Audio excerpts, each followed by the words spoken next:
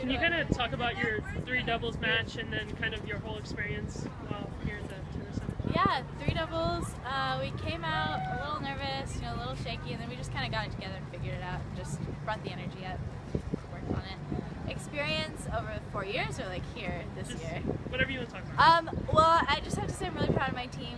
I think they've they've really stepped it up and just it's been kind of an honor to, to play with them and I'm gonna be really sad to leave them, but uh, really excited to see what they do.